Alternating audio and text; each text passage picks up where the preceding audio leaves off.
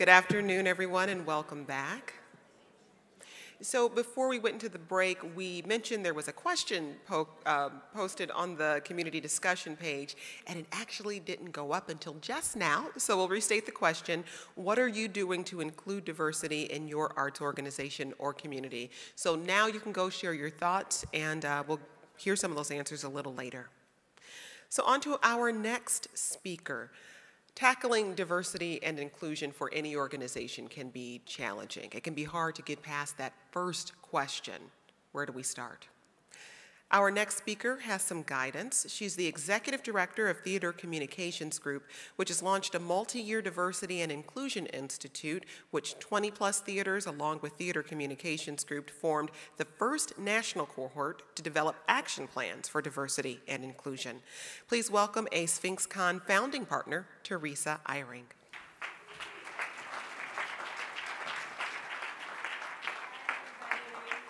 Good afternoon.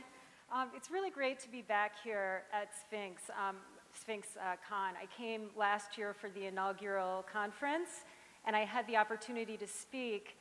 And I've been thinking a lot lately just about connection and connectivity and how we bring all of these really fantastic conversations together and work together to make change. And I was also thinking about my talk last year and how I was I had just seen a, a, research report about how social media and other um, kinds of tools had reduced the degrees of separation among people who don't know each other from six degrees of separation to three degrees of separation. And I was also thinking about how um, the arts actually can reduce the degrees of separation among people who might not otherwise know each other. And in my talk, I, I mentioned that there was actually a building, and I'm going to remind those of you who uh, were here last year and tell those of you who weren't here last year that I made the connection between this building, which was designed by my grandfather, a very prolific architect in Baltimore, and this young man um, who happens to be Tupac Shakur, who, when this building was converted into a, an arts high school, he was a student there, and it's actually where he wrote his first rap, and um, I feel connected to him because that building was designed by my mother's, my mother's father. So um, one of the things that happened between last year and this year is I met a guy who uh, is an activist and a radio host in Baltimore, and he started talking about the High School for the Arts, and I said, oh yeah, I know that building, my grandfather designed it. And he said, oh, I know that building. It was in front of that building that I was arrested for the first time. So I said, what were you arrested for? And he said it was an act of civil disobedience because in the early 60s, um, that building did not allow blacks to swim in the swimming pool inside the building. Um, so this, there was a club that occupied the building at the time, and it was the Knights of Columbus, which is a Catholic men's uh, club. And even if you were Catholic and male, if you were black, you weren't allowed to take advantage of some of the opportunities in this club. So he was protesting that. He was arrested. Um, and he's gone on to be uh, a, a, a, great activist since then. But I've been thinking over the last year just about how buildings and neighborhoods and, um, and social structures evolve to be exclusive, and in some cases, unconsciously. In some cases, they are consciously exclusive, and in some cases, they're unconsciously exclusive. Um, even though we have laws on the books, we have civil rights acts that have been in place for many, many decades. And so what we have been thinking about and what we've been um, really working on at TCG is how we make sure that the theater field is not inadvertently creating exclusive structures. And we believe that we have a lot of work to do in this area. Um, part of what we do at TCG is we work to create a better world for theater. We try to make sure that the environment and is healthy and the tools are are available for theaters to be as strong as they possibly can be. But we also believe that the world needs to be a better place because of theater. And in order to do that, theaters need to be modeling new pathways, not replicating weaknesses that exist in our society today. Uh, so one of the areas that we've become extremely focused on is the area of diversity and inclusion and equity in the arts, and particularly in theater. Um, we determined through a strategic planning process with our board of directors uh, two years ago that diversity was a core value for our organization. And in fact, we are a very diverse organization, but that we wanted to see uh, that core value really enacted through leadership for the theater field to help our field have the tools and have the, the, the, the, the sense of purpose around building more inclusive uh, structures and organizations. So we, be, we developed a diversity inclusion initiative which has six points to it, and I'm going to talk you through those and ultimately talk with you about one particular initiative that we're very excited about, our Diversity and Inclusion Institute. So um, we decided that whenever we bring theater leaders together, and when we bring theater leaders of color together, for instance, um, who have been around for years and years, as well as young leaders of color, we often hear people say, we've been discussing diversity and inclusion for so long, and there hasn't been enough change. Um, now, I want to say that we do define at TCG, we define diversity very, very broadly. But what you're going to see as I go through our diversity inclusion initiative, you're going to see a lot of references to race, racial and ethnic diversity, because for the moment, we're slightly more focused on that particular area of diversity. So we decided that we wanted to begin by establishing a baseline of information. That includes doing a demographic survey, which we're calling Represent, because what we'd like to do is make sure that theater people around the country can identify themselves rather than having, say, the HR person in the organization say, well, I think we have five people who are African American and three people who are Native American, and so on. Instead, we want people to self identify, and that is why we're calling it Represent. Second is a literature review. I think we all know that there has been quite a bit written and spoken of research that's been done over the decades about the state of diversity in the arts. We want to pull together a resource with our colleagues, we don't want to reproduce any effort here, um, that, where people can go and really look at what's been written and what's been researched through the years. So we kind of, you know, again, have more of a baseline of what's already been talked about and whether we've made any progress.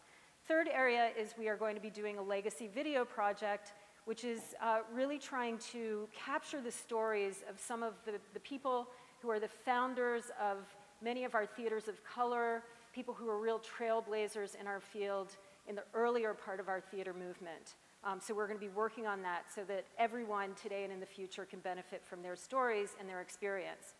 The second aspect of our diversity inclusion initiative is really the action-oriented programming. And we have three initiatives within the action-oriented programming as well. One is our Spark Leadership Program. This is an outgrowth of a program that we've had for the last eight years called Young Leaders of Color. Um, through this program, we try to bring as many as we can young leaders of color to our national conference every year and provide different kinds of uh, training and tools and connectivity and networking.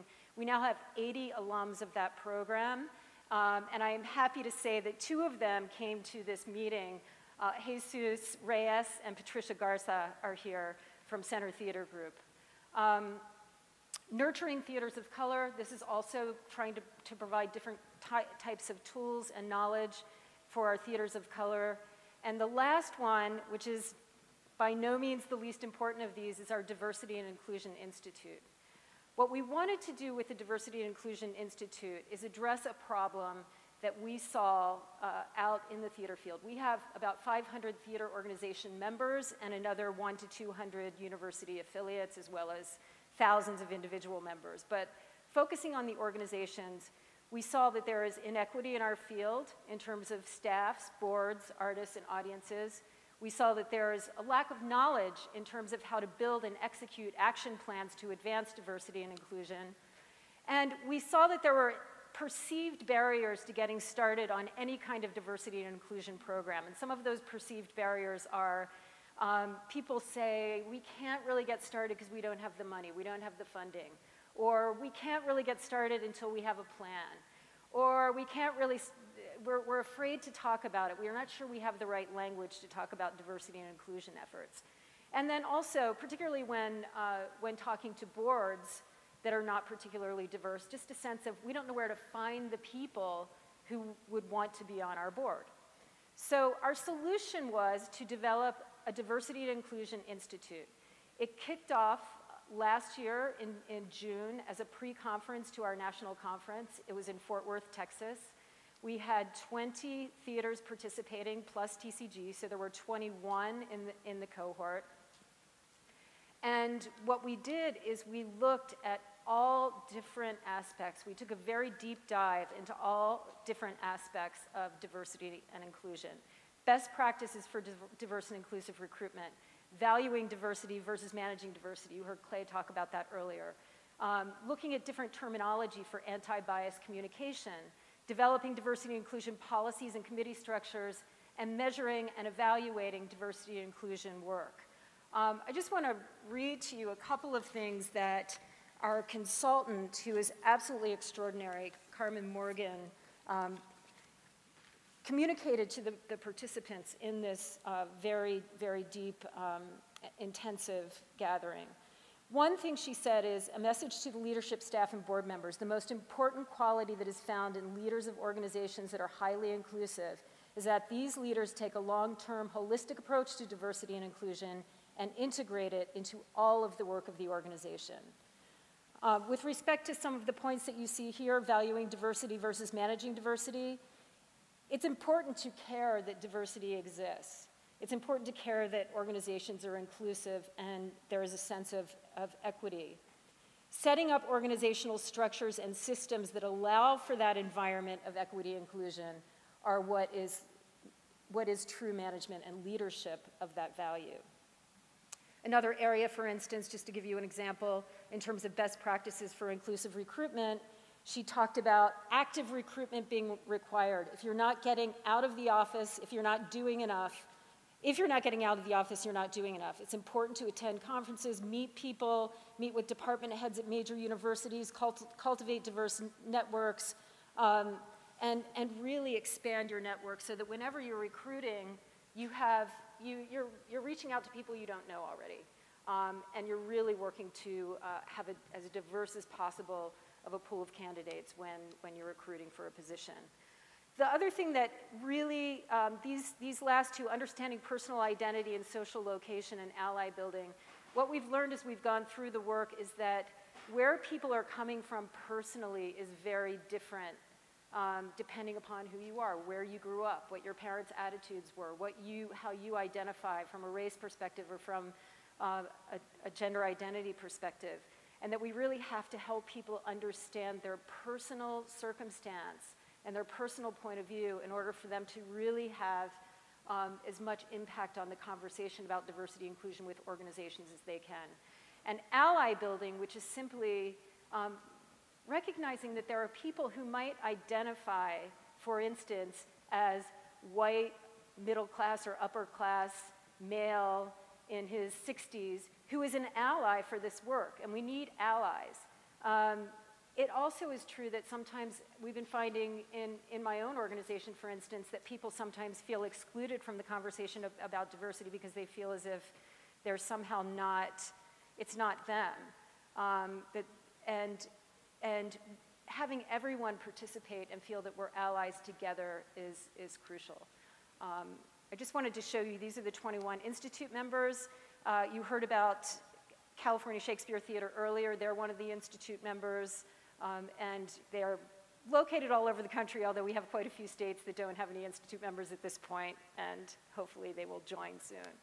Um, one of the great things that happened is last fall at our Fall Forum on Governance, which brings about 150 trustees and theater leaders from all over the country to New York to talk about leadership uh, issues and development for our theaters. We were able to present a panel with uh, some of the people who are participate, participating in the Diversity Inclusion Institute. So here they are. They're talking about all of the different action plans and strategies that they've been putting together that are specific to their institutions.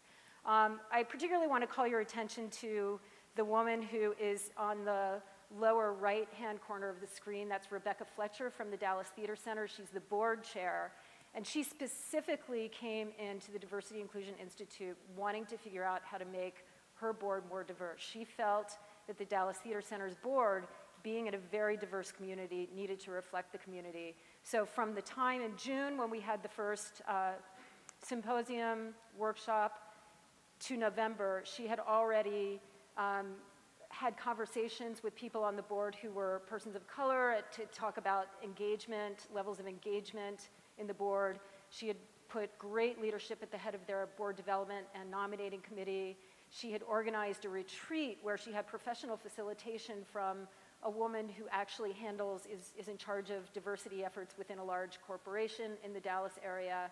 And after that meeting, people so got it why it was important for their organization to become more diverse, especially at the board level at that point in time, that they ended up with something like 20 or 30 new nominations for the board uh, representing different uh, parts of the Dallas community. So that's a real success story. She's now being called upon on a regular basis for advice about how to really build diversity awareness on boards. Um, some of the outcomes from the Diversity Inclusion Institute, we have coordinated diversity inclusion efforts across the field. We have a national database with new theater-specific tools. We have deep learning, capacity building, and peer support and accountability. We have a growing national network of theaters leading the charge for greater diversity and inclusion. And ultimately, we hope for field-wide change that reflects a more diverse theater community. Now, I have an idea because some of you may be thinking that's only 20 theaters. How much change among hundreds and hundreds of nonprofit professional theaters across the country? How much change will that ultimately affect? I think it will, just those 20 theaters plus TCG, affect some fairly significant change. But I also wonder how would the world be different if we could launch three new 20 theater cohorts each year starting in 2015 and all 600 plus TCG member theaters and university affiliates will have participated in the Institute by 2025. That would mean, uh, I think, some fairly significant systemic change in our field. Um, and we would also have, hopefully, more of these opportunities for our Institute theaters to present at different convenings um, and talk about their successes. I just wanted to point out that our own uh, Sphinx, Xavier Verna, uh, came to our, our fall forum on governance and presented about what Sphinx is doing. So really enjoy the opportunity from, for, for, uh, for, for cross-organizational sharing. Um, and that's, uh, that's our Diversity Inclusion Institute. Thank you.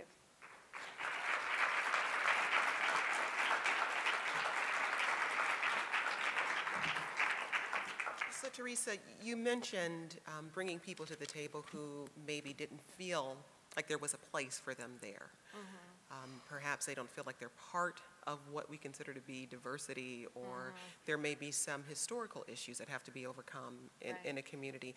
How do you go about building those bridges? What are some things to keep in mind uh, to, to bridge those gaps?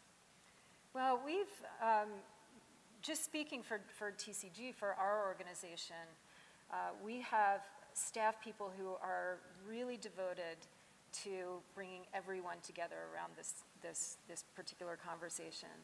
And we have made sure to really not assume, and I have to say there was a comment made earlier about the importance of people at all levels of an organization being passionate about this topic or anything that you're trying to accomplish change with. Um, people who have said it's so important for us to keep communicating and not assume that everyone gets it or feels a part of this goal. Um, so I think having regular gatherings where the why of the, these efforts is communicated, making sure that people feel heard and feel like they are a part of the conversation. Um, I've sometimes said, no matter who you are, you have some relationship to this issue. Um, so feel a part of it, feel like you have something to offer. Don't assume that someone sitting across from you because they are a particular way, look a particular way, talk a particular way, are who you think they are.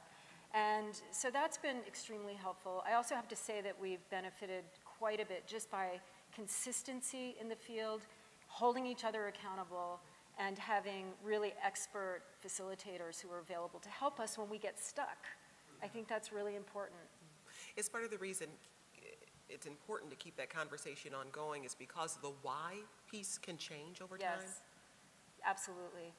I think also um, one of the mistakes that, that's made, and I hear this from people who, for instance, are recruited into an organization that is trying to become more diverse, um, that, that there's sort of numbers goals, or at least in people's minds, there's a goal of we want to we really want to see this percentage of our organization be more diverse. We want more women. We want more people of color. We want to be more accessible for people with disabilities.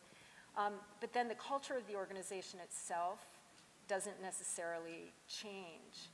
Um, and I think there has to be so much soul searching and, again, communication and knowledge sharing so that the, the organization is literally more inclusive um, and not simply executing on a, a, recruitment plan. Why is that facilitator piece important? To go back to what you said, when you get stuck, you bring in a, a good facilitator. Well, it's not just it's not just um, bringing someone in when when we're stuck. We actually have been working with um, Carmen Morgan from leadership in, in leadership development and interethnic relations is the name of her company, and she's been helping to facilitate many of our gatherings, doing really deep assessments within organizations. But so she helps us, she's helped everyone feel comfortable talking and not feeling like, oh no, I'm going to say the wrong thing and then I'm going to be sort of ousted from this conversation. She helps everyone feel comfortable. So we've been able to have a safe space for some pretty deep and intense conversations in the theater field. Um, and we still have a lot of action to take based on some of those conversations. But Carmen and others like her are also available if you do get, find yourself stuck. You know, we can't get past, you know, we're not getting close enough to this goal fast enough. What do you think we should do? Or, um, you know, any kind of issue that you might come upon. Those, those kinds of allies and friends um, can be enormously important to these efforts. Um, the other thing I just want to say, if it's okay, I know you're Oh, no, probably. Um, I had a very interesting conversation at one of our conferences, uh, at a TCG conference. It was actually last year, where there was a discussion about how in the arts field and in the theater field, sometimes there's a thought that when you're recruiting for a leadership position, that people have to have very specific knowledge. Um, in other words, recruiting outside of our, uh, outside of our industry is not necessarily the best way to go. Well, there are so many people, if you go outside of just theater, for instance, who are extremely talented and, and capable of taking on different positions within our organizations. But what came up was there's this other layer, which is that theater culture is very specific too. Um, and I don't know if this is true in music and dance and opera and, and all of the other disciplines, but there's a language that we speak. And there's a sense that if you're not from, if you somehow don't have some background in this particular business, then it's going to be difficult for you to function. And that's another thing that we've really had to work through is just how do you think about the fact that it's not, you know, our, our language, our culture within theater or within the arts should be more open than that. We can share, we can, you know, we can bring people in and, and create a culture, once again, that's inclusive and celebrates everyone. Ladies and gentlemen, Teresa Eyring. Thank you very much.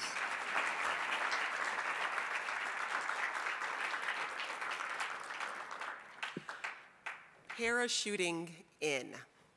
This is a term that's sometimes used to describe when news organizations send people into an area to cover a story, but not people who are actually from that place or who really understand it. So, how do you bring more locally grown journalists, more people of color, into the newsroom? Our next speaker will explore that question. He's the editorial page editor for the Detroit Free Press. He's also host of American Black Journal and co host of the weekly news program My Week. Please welcome Stephen Henderson.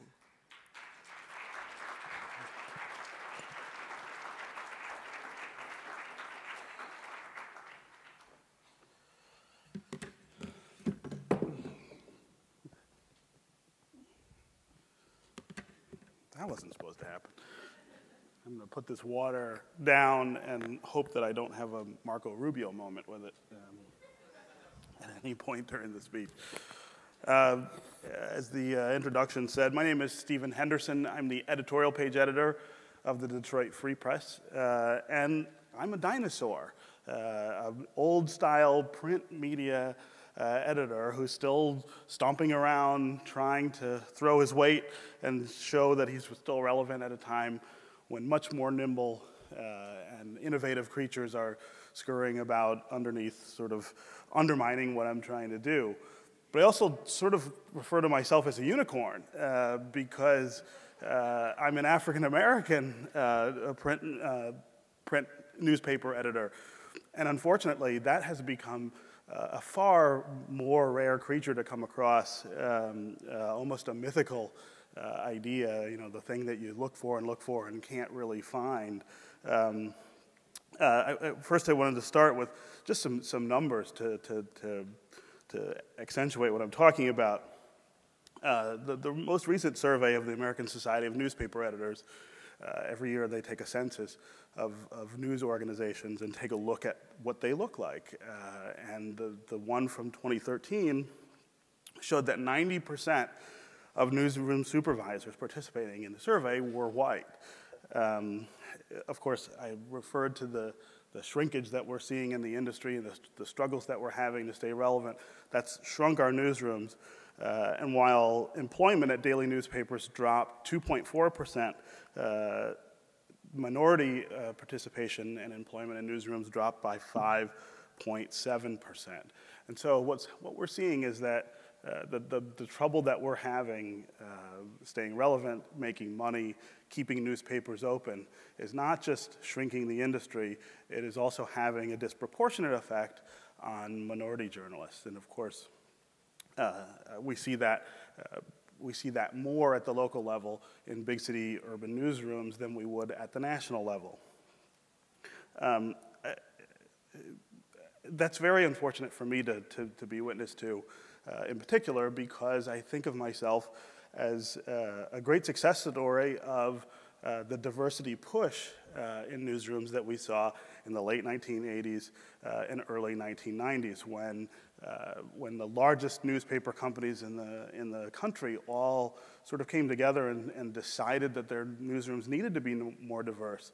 and there were all kinds of programs and opportunities to, try, to try to identify um, minority journalists at a young age, uh, get them involved uh, in the business, get them the opportunities that they needed and the experience that they needed to be Stephen Henderson, uh, editorial page editor of the Detroit Free Press someday. And of course, the contraction in the industry has worked against that um, and, and really made those efforts uh, uh, almost for naught. Uh, so as a result, what we see is coverage that doesn't really reflect the communities that we're in. And you think about a city like Detroit and the profound issues that we see in the, uh, in, in, the news coverage of Detroit, uh, uh, particularly with uh, our financial problems and the bankruptcy. Um, this is where you get the obsession with something like what we call ruin porn, big empty buildings uh, that you see show up all over the media over and over again without the context of why that happens, what it means, whether there are people uh, who, who live near those, those buildings uh, and what impact that has on their lives. This is what we see when we see the, the, the coverage of, of violence in communities like Detroit. Uh, that so often is very surface and doesn't get to, to underlying issues, or again, that impact on the people who live here. Um, we really, we really face uh, what I call dis, uh, we, we, really face what I call connective issues uh, in, in cities like Detroit between uh, the, the newspaper and the community that we cover uh, when we don't have enough uh, people from that, from that place, people who have been there, people who grew up there, and who understand how, how these things work um, and why the, why the situation that we all see uh, exists, um, it, it, becomes, it becomes uh, uh, uh, reflective of our product, and, and it, it shows day in, day out in the, in the newspaper. Of course, I think the solution is, on, on one hand, very simple. We need more, we need more minority journalists in newsrooms. But it's also made difficult, of course, by the economics uh, and the, the, the, continuing shrinkage of the, of the industry. Uh, one thing I wanted to point out in particular is the, is the lack of understanding, at least that I see, on the part of media organizations about uh, the idea of recruiting kids specifically from communities to work at newspapers in those communities. Uh, at the Free Press, we actually have uh, a great amount of success uh, still with what we call the high school apprenticeship program, which is uh, where we bring kids in from local high schools in Detroit and help them publish their uh, student newspapers uh, at their schools. Uh, and then they, they come and they work with us and we teach them uh, how we do things. A lot of those kids turn into interns when they're in college and is the most successful way we are getting kids from Detroit into the newsroom as adults. I would say that about 50% of the minority journalists at the Detroit Free Press are, are people who came through that program. But you don't find that program necessarily in every city. Uh, and in fact, right now, uh, the things that are contracting in the industry, of course, are uh, apprenticeships, internships, scholarship programs, the kinds of things that we do to reach out uh, to these kids.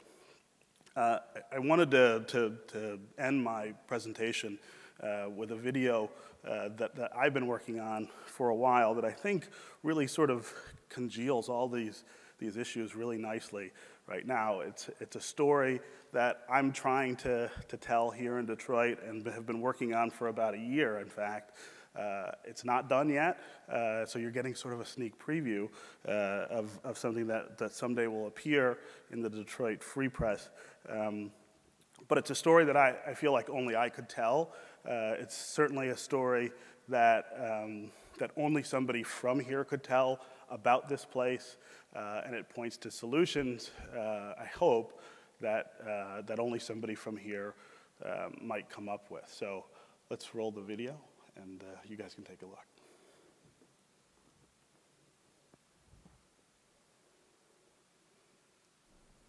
When I was born in November of 1970, my family lived on the west side of Detroit in the second story flat of a house on Tuxedo near Grand River and Livernois. It was the first place I knew as home. It was the last place I ever saw my father alive. This is what it looks like today. Until recently, it was being cared for, but when I went back last year, I found it like this no door, no windows, open to the elements.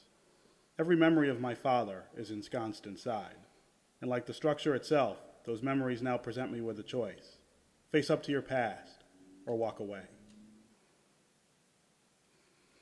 It's clear that whoever walked away from the house last left in a hurry.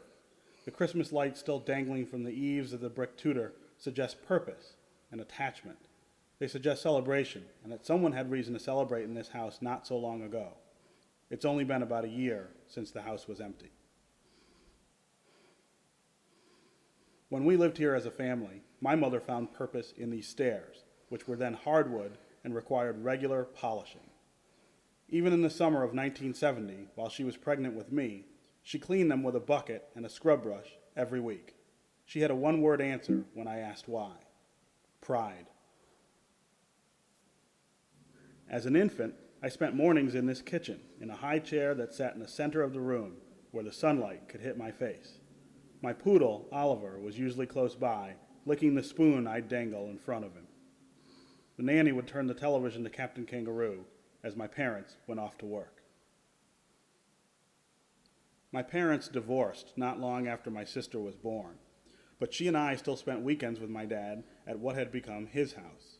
In the living room, he and I watched baseball and built toy trains. And the paths through the molded carpeting on the floor became roads for my toy cars, rivers for my boats, and tracks for my steam engines. My father's record collection, and yes, they were vinyl, filled three long shelves on the dining room wall. He'd play them all day and night on a turntable that sat nearby. When the records weren't playing, the radio was. It was all jazz. Miles Davis, Grover Washington, Donald Byrd. In his world and ours, there was no other music. My dad once told us that he'd captured Santa Claus coming down the chimney, and he'd hidden him in the hallway linen closet. Santa needed a break, he said. He was under a lot of pressure. Of course, my sister and I believed. We heeded the warning not to open the door. Santa might get out and go back to the North Pole. My father lived in the house in the 7100 block of Tuxedo the entire time he lived in Michigan. The Parkers lived in the first floor flat and were more than landlords. They were his closest friends and my godparents. My relationship with them and him was defined by time spent in that house. From my early Christmas memories, through my parents' divorce, and through the drinking and smoking that led to my father's stroke and eventual death, the house on Tuxedo was the constant. The last time I saw him alive was there, just before New Year's Eve, 1984. It's hard to see the house now, to see the state it's in, and not think that it is somehow mirroring the trajectory of my father's life. And what should I do? If I let the house go, let it sit there and rot, would I effectively be allowing the last physical connection with my father to be destroyed? Or would letting the house go, like similar empty structures in the neighborhood and the city, be crucial to the future of the Detroit that I'm raising my children in? I was born here in 1970, and all the opportunity in the world began to unfold for me in this house. But now what's left is faded and tattered, and opportunity seems the last thing that might emanate from the walls of my old house. The dreams of my parents have melted into the nightmares of a city that can't solve its biggest problems, much less those of a single residence on the west side. Over the past 10 years, this part of the west side of Detroit has lost about 35% of its population. It's a post white flight exodus that's carrying anyone who can afford it out of the neighborhood and likely out of the city. Some of the block looks like the house next door to my father's old house. It has likely lost its chance for rebirth. You could buy any house on this block for less than the price of a new Ford. But in a city that suffers such deep abandonment, this is hardly the worst area. It's part of the vast middle, neither solid nor completely written off. It could be years or a decade before city government decides what to do. Dave Bing ain't shit, says Les Thomas, sitting on the right. He's been on the 7100 block of Tuxedo most of his life and has seen the city deteriorate around it and throughout it. He says Detroit's mayor should go back to playing basketball. Nothing is better on Tuxedo. The only changes are for the worst. Marion Small has lived here since she was born, just a year before I was. She remembers my father and wishes the city would tear down the worst houses on the block. She also hopes someone might save my old house. She asks whether that someone might be me. I tell her that, like the city, I'm torn. The Parkers still own the house, and their names are still on the deed, but it's their granddaughter who had been managing it as a rental before it went empty. Taxes are delinquent, though, and the city is about ready to foreclose. That could be my chance to intervene, but to what end? What's left to invest in? On nearby Livernois, once a thriving commercial corridor, some buildings have literally fallen into the street, leaving open facades that look like they've been shelled. The barber shop on the first floor was a hangout for my dad 30 years ago. Now, it's nothing. But there is also real life left in some corners of that neighborhood. St. Cecilia's Gym, where basketball greats like Magic Johnson and the Fab Five all came to play once upon a time, still stands as a beacon for young people in search of hope. So does St. Cecilia Church and the school and other institutions that just won't quit. And there's still life on Tuxedo. There's laughter and silliness, even in the shadow of rot and decay. And August Sunday brings remaining residents out to soak up the good weather and each other's hospitality. My father is gone, and his old house is now in shambles. But I can honor them both by refusing to turn my back.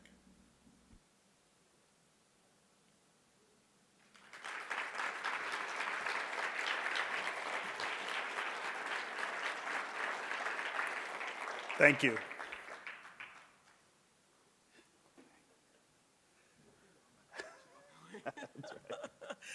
So I want to first ask you if there are more homegrown journalists, more people of color in the newsroom, how might that reframe some of the conversations we're having on both the regional and the national front? And you can use the Detroit bankruptcy as, as a specific example. Well, I, again, I think the, the, the, personal experience we all have growing up here comes to bear in news meetings, uh, story conferences. When you sit down to write your story, you're thinking about uh, not just what's happening now, but what's happened before and how it informs that. Uh, the role I play in our newsroom, I mean, my job is as editorial page editor, uh, but I also play a role as, as almost a consultant, uh, local consultant to, to, to, reporters who come and ask questions about things, about history. Uh, there are lots of things that I can sort of volunteer in meetings that I know have happened before that, that help inform the stories. It, it, just changes the entire environment to have more people uh, who are of this place telling the story of this place. When I was in school, a long time ago, um, but there were lots of opportunities. Not as long as I was. not as there's not that much of a difference. When I heard the year you was, I was like, oh, okay, Stephen. Um, but there were more opportunities, I think, for young people to explore journalism, to explore the arts, and now I'm finding more and more in talking to them, they, they have to really seek these opportunities out for themselves. And so their understanding of journalism is what they see on television, which is sometimes journalism, sometimes it's infotainment. How do you, how do you deepen their understanding of what this, what this career, what this profession is really about? Yeah, I mean, I, I, that's a great question. I, one of the things I think is, is crucially important with kids uh, is teaching them to tell stories uh, and to value the stories that they tell, particularly telling stories about themselves. That's really what, what uh, I think uh, connective journalism is about. It's about uh, uh, knowing the subject matter and feeling something about it and, and wanting to communicate that to an audience. I think uh, young, young kids almost instinctively want to do that, but they don't find opportunities for it. And schools, of course, don't necessarily uh, draw it out of them. I think uh, one of the things we, we could do better in, in the newspaper business, I think, is, is connecting more with schools and getting them just to tell stories. It's not about the newspaper, uh, because of course, like I said, we're dinosaurs, we're going away. um, uh, it, it is about stories. What's, what's going to remain whatever form it is uh, in journalism, is stories and storytelling. Uh, and that, that personal storytelling is the storytelling that matters. Mm-hmm. Well, one of the things that Free Press has done is really uh, try to expand the way you connect with your audience using new technologies. Is that an opportunity to connect with, with younger people because they're usually way ahead on, uh, of, of, that curve than we are? Yeah, it's, a, it's an opportunity and also a disadvantage. Uh, it's an opportunity because, as you point out, uh, you know, my kids know how to operate an iPad and an iPhone and all kinds of things that I would not have uh, understood at their age. And so they, they're in that world. They are, as we call them, digital natives. Uh, they're not adapting like I am. Uh, but it's also a disadvantage in cities like Detroit where you've got this profound gap, technology gap. There, there are lots of kids in the city who don't have a computer at home, who don't have an iPad uh, and an iPhone and all of these things. And so addressing that gap is also one of the things you got to do. Ladies and gentlemen, Stephen Henderson.